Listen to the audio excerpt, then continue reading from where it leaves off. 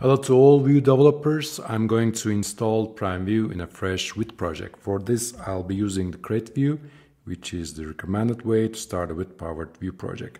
Let's see how it's installed. Um, npm create Vue latest. Let's fire up our Vite project. So Vue project, I'll just say no to everything. And open up Vue project. And I, I'm done with the command line. Okay, now let's also install Prime Vue. And since I'm going to use styled mode, I also need Prime Vue themes because the core of Prime Vue is unstyled.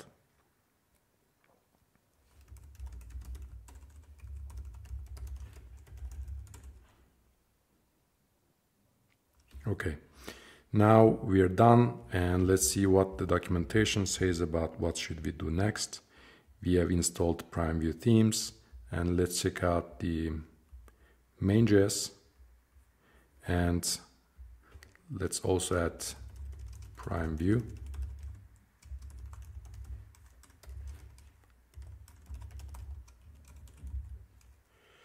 And Aura, which is the default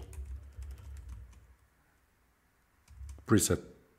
And by preset, I mean in styled mode, it's the preferred um, theme in the demos, but of course you can also choose Lara and Nora here.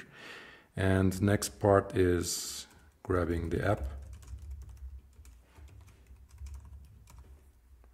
and make this app and app use let's install prime Vue and the theme should be styled modes aura preset okay now we have the everything installed and let's check out what we have in the demo application. We have a couple of content here that I can let me show you that first. This is the boilerplate stuff. Now let's remove this one remove the components remove some styles and make this hello prime vue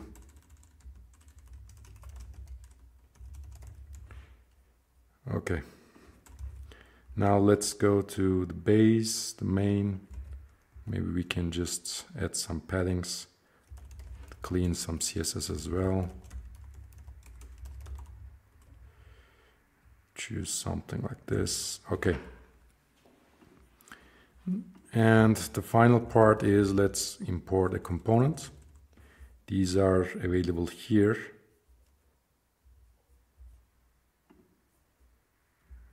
let's check out input text there's a there's this one and I will also need maybe button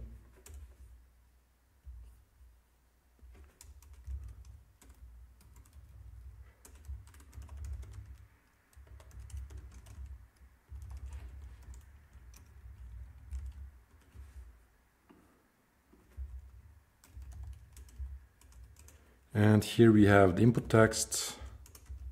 The v-model should refer to text.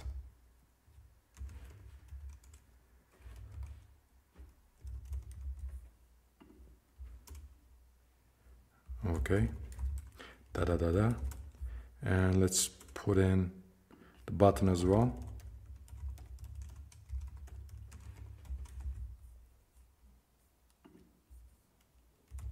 And that's it. Now everything is working and we can start creating nice looking UIs. And I will choose this, uh, I will use this sample application on the upcoming tutorials as well to show you how to customize the theming, uh, how can you bring your own brand and how to use the Tailwind version because Prime Vue might be a bit confusing to start with. We are, it has uh, it can be styled in two ways, styled and unstyled. In this part, we have used the start version. In the upcoming tutorials, we will deal with the Tailwinds integration, uh, the unstyled mode, um, customizing the theming, the dark mode and everything. So I will uh, use this application in the upcoming tutorials as well. Thank you for joining me and hope you like development with Prime Vue and see you on the next tutorial.